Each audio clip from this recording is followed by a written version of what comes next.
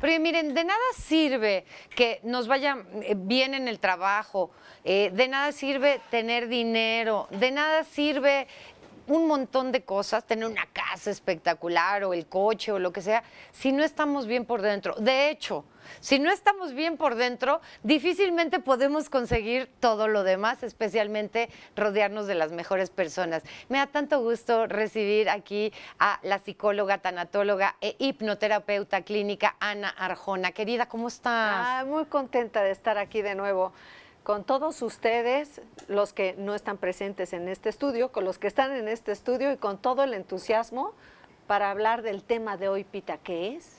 ¿Y tú quién eres? Me sonó como anuncio de revista, pero no. ¿Y tú quién eres? A ver, ¿y tú quién eres? Mire, yo soy una persona que vengo a hablar de lo que es ser introvertido y ser extrovertido. Porque muchas veces no sabemos quiénes somos. Ajá ay, es que me dicen que soy muy extrovertido, pero yo me siento súper introvertido, me dan pena las cosas. Entonces, es importante hablar un poco de, cómo sucede esto, ¿no? El origen de esto resulta que lo descubrió, lo acuñó Jung, Carl Jung. Y él dijo, a ver, hay dos tipologías que yo veo que existen, que en realidad es una activación o arousal, que le llaman en inglés, de la inhibición y de la excitación de nuestra propia energía, en la cual por supuesto que está incluida nuestra psicología, nuestro físico y nuestras emociones. Entonces él decía, bueno, a uno le voy a llamar, según el dios griego Apolo, el apolíneo. El apolíneo es aquel, hablando del dios griego, que es el músico, es el curandero, es aquel que es lógico, que razona, es aquel que tiene también mística, y ese es el apolíneo, que es el introvertido. Y al extrovertido le llama el dionisíaco, debido al dios griego del vino, que es aquel que está en el éxtasis, aquel que también es creativo, igual que el apolíneo, de diferente forma, aquel que realmente eh, llega a, a ser, inclusive, podría llegar a ser un desorden. Ok, pero a ver, entonces, ¿el ser introvertido o extrovertido es algo que es tuyo, o sea, con lo que tú ya venías, tu paquetito, pues, o es algo que fuiste aprendiendo? Mm, buenísima pregunta. Es que me encanta, Pita. Por eso me encanta este programa. ¿Qué quieres que te diga? No, pues porque me, me gusta. Pues porque somos personas. Y, todos. Mira, justamente eso es lo que se dice. Hay una teoría de un señor que se llama Eysenck que dice, esto es un paquete genético. Esto es fisiología tú naces con esto. Y entonces tú tienes que aprender a equilibrar esto con lo que naces. Porque lo puedes medir, él se dio cuenta que era mesurable por la activación cerebral, o sea, las ondas cerebrales, por la sudoración de la piel, por la conductividad galvánica de la piel, que es la electricidad en la piel, casi casi como un polígrafo. Entonces se dio cuenta que en realidad esto es un paquete genético que tiene que ver con nada que se ha aprendido. Ok, pero a ver, una persona que durante su infancia y adolescencia fue muy tímida, muy introvertida, casi no hablaba, etcétera, ¿se puede convertir de la noche a la mañana, o no sé si de la noche a la mañana, pero con el tiempo se puede convertir en una persona extrovertida? No, pero hay que diferenciar timidez e introversión no son lo mismo. Ah, no, a ver, cuenta, cuenta. Fíjate que el tímido es alguien que aprende por imitación y además la timidez es un miedo a un juicio social. En realidad es como si ellos hubieran aprendido que las relaciones humanas eh, tienen una connotación negativa, mm. desde pequeños, como tú dices. Por ejemplo, alguien tímido eh, pero extrovertido, puede ser alguien que se muere de ganas de cantar una canción en el karaoke, pero no se atreve. Pero se muere de ganas. Entonces le dan dos copitas y se avienta completamente y se echa las que sean necesarias. Sin problema. Un introvertido, ni aunque le pagues, hace eso. Entonces hay una gran diferencia. Cuando hay un introvertido, por ejemplo, que se tiene que personificar como extrovertido, pudiera ser una cantante que como persona es tímida, pero como sabe desempeñar muy bien su trabajo, canta y se expaya como si fuera extrovertida en el escenario. Bueno, estás hablando de casi todos los actores, actrices y Sí. cantantes que existen. La mayoría de los cantantes, por ejemplo, en la vida real es gente muy, Sí. um, muy para sí, que Sí. no, no platica mucho con los demás, no por groseros, porque luego mucha gente cree, es que es un grosero, es que se cree mucho, no, es que son tímidos, eh, pero a la hora que suben al escenario, algo les pasa que se transforman por completo. Son introvertidos. Ajá. Luego, si se junta tímido e introvertido, entonces eh, eh, digamos que es más difícil para esa persona ser vista como realmente es, porque ya tiene un, un juicio social que le da miedo de cómo los demás lo vayan a, a ver y le cuesta trabajo interactuar como extrovertido. Ok, a ver, entonces, cuando existe miedo, o sea, yo tengo miedo a, a- a saludar, Ajá. pero si tengo miedo a saludar es porque en realidad tengo miedo de que no me respondan el saludo. Eso es más bien timidez. Ok. Por ejemplo, la forma de, de comunicarse de un introvertido y un extrovertido es completamente diferente. Un extrovertido le gusta el contacto físico, le gusta la cercanía física, te mira directo a los ojos. Alguien que es introvertido le gusta mucho más escuchar que hablar y lo va a disfrutar muchísimo. Igual disfruta, ¿eh? No quiere decir que sea un antisocial, que e- eso es algo que quiero puntualizar, se les estigmatiza mucho como antisociales. No, no. Ellos disfrutan socializar, pero no en la intensidad y en las dosis que los extrovertidos. Claro. A ver, es que normalmente cuando pensamos en introvertido y extrovertido pensamos introvertido, serio, pocas palabras y extrovertido. eh, alguien que echa relajo, alguien que siempre anda como queriendo platicar con todo el mundo. ¿Sería así? Parte y parte. Hay ciertos mitos en lo que tú dices. Mira, curiosamente, el extrovertido no es el que tiene el nivel de activación y excitación alto, es el que lo tiene bajo. Tiene más inhibición en el nivel de activación. Por eso busca todo lo que es sociabilizar, las fiestas, hablar en público, necesita estar con gente y necesita ese dinamismo. Y el introvertido es muy nervioso y es muy preocupón, llega a ser llega a tener un- una neurosis mayor porque es una persona más meticulosa, más reservada, más prudente. eh, inclusive un ejemplo que te puedo dar es que un extrovertido le presentan al licenciado Cabello y en un segundo es, hola pelos, ¿cómo estás? Ajá, ok. Y un introvertido, ni de broma. Un Claro. introvertido como que necesita empezar a agarrar confianza para poder llegar a decirle un apodo a alguien. Ok. Ahora, eh, las personas serias, Ajá. ¿no? Porque si- siempre es que, ¿cómo es tu papá? No, pues es un hombre muy serio, por Ajá. ejemplo. Las personas serias tienen, podrían ser introvertidas o extrovertidas. Podrían ser introvertidas o extrovertidas, porque la seriedad es una condición que es, es como un acondicionamiento que tú te propones, a veces hasta como mecanismo de defensa.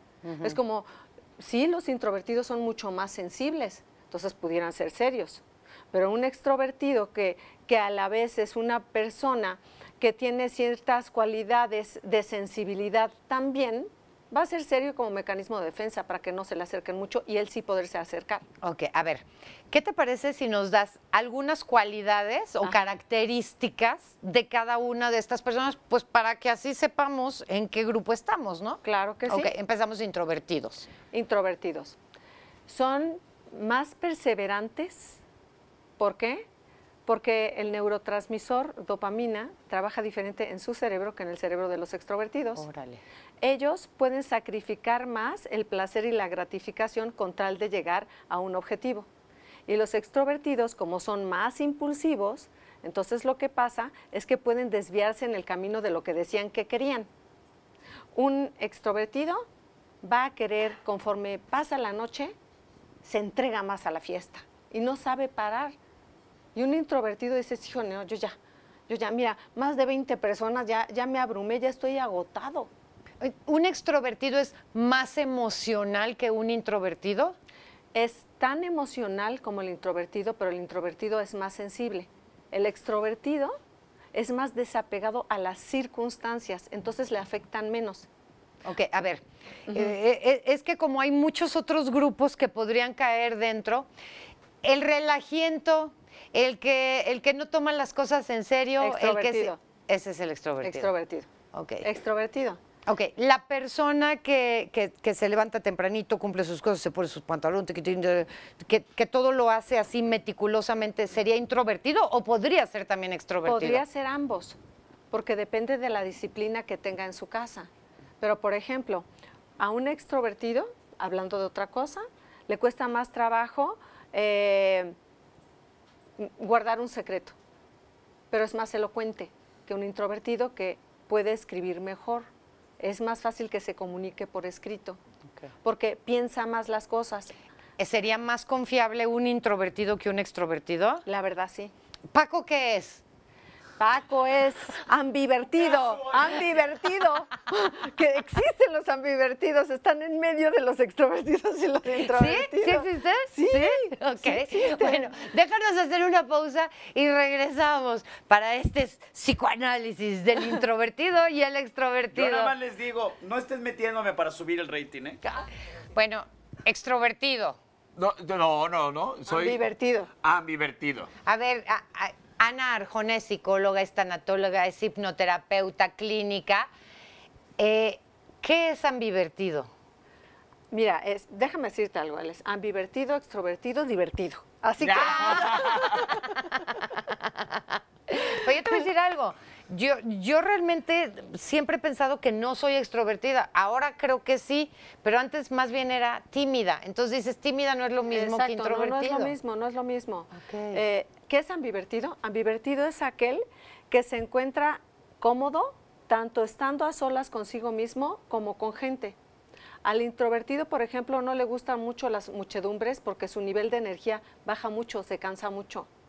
Prefiere y necesita ámbitos físicos y psicológicos de- ¿Controlados? controlados y necesita poder controlar esas cuestiones. No es que sea un controlador, no tiene nada que ver. Ahora, mm, en cuanto a los hijos, a veces nos pasa como, no sé si te pasó como mamá, pero por ejemplo, mi hija que era, que era muy, muy tímida, muy callada, este, así de, Ana, mi hija, ve. Sí, sí, y a sí. veces uno como mamá o como papá se saca de onda porque, porque él dice, ¿cómo va a sufrir? Porque no quiere ser amiguito de nadie.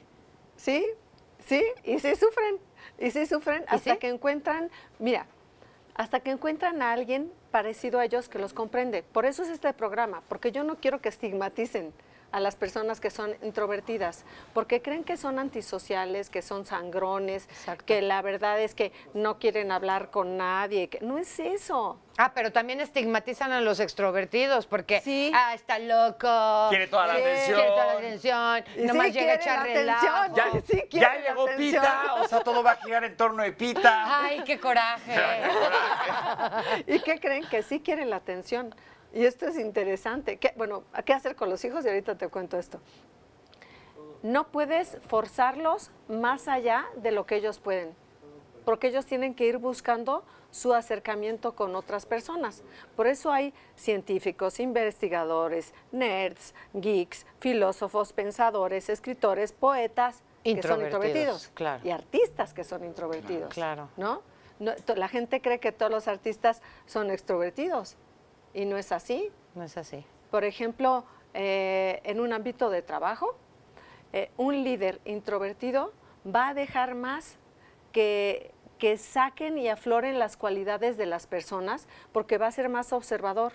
Entonces va a agarrar lo mejor de cada persona y un extrovertido, como, como se entusiasma tanto, quiere imprimir su huella sobre todos los demás y no se da cuenta que se precipita al hablar, interrumpen muchísimo. Hola. O- Oli, hola. Oli.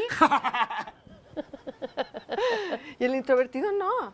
Este va a ser más prudente, se va a esperar más. Bueno, pero espera. Dime, dime. Puede haber extrovertidos, pero que no sean tan como dices. O sea, Claro, claro. Ahorita estamos haciendo generalidades. o sea, hay grados, digamos. hay grados y hay, y hay contextos. A ver, Ana, en esta fórmula perfecta del- de, de la pareja ideal, Ajá. ¿cómo se debería de armar en personalidades? ¿Se pueden dos extrovertidos, dos introvertidos o sí debería de haber un nivel? Mira, normalmente, mira, mira, mira, ¿qué tal, eh? Normalmente escoges tu contrario, es lo que pasa, para compensar, para compensar, mira, la cuestión es que en pareja hay que entender que el introvertido va a ser territorial, va a ser territorial, necesita su espacio, eso, eso no, no hay manera de quitárselo, cada quien tiene que tener como su foro, su área, ¿no? Y también hay que entender que el extrovertido puede tomar como indiferencia o falta de interés Claro. que el otro no hable tanto o que escuche más, pero no emita inmediatamente, verborreicamente, una aseveración de algo. Claro, pero a ver, estás diciendo lo importante porque a veces hasta en la misma pareja uno de los dos necesita como su espacio A- Sí. y así como de, oye, dame un Échate rato. allá y entonces la otra Sí. persona puede decir, ya no me quieres, no Sí. quieres compartir, nada". no, es que No quieres usar estar- el baño al mismo tiempo que yo. necesito estar solo, ¿no? Sí. Y eso no quiere decir que no te ame, ¿no? Ah, por supuesto. Es que lo más sano, hablando ya de parejas, es que cada quien tenga su espacio y compartir un espacio en común, pero que cada quien tenga sus actividades, sus hobbies inclusive, y después nos juntamos, Oye, no es necesario. Su vida. su, su vida, vida. para hacer una vida con sentido en común. ¿Cómo, Eso. ¿Cómo podemos identificar esas necesidades de cada una de las personalidades en pareja?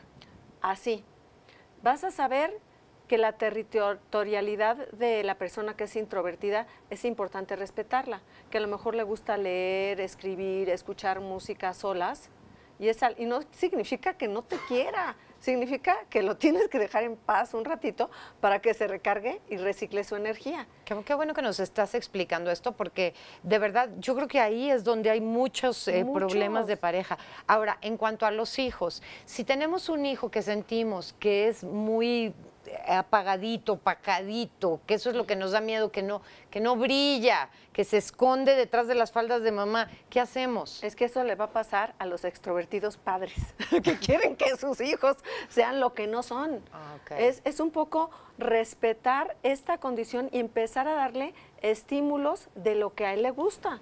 Pero, A, a lo ver, mejor pintura, a lo mejor le gusta muchísimo la pintura. Ya. pero ¿qué pasa con ese eh, que hay modos de, la- de- de muchas madres de sobreproteger al hijo, de no dejar al hijo que se relacione porque lo van a lastimar, porque le van a esto, No, porque lo van a... sí. Y entonces hacer un niño no solo introvertido, un niño excluido Y tímido, y tímido. porque el niño va a leer que es peligroso relacionarse con los demás.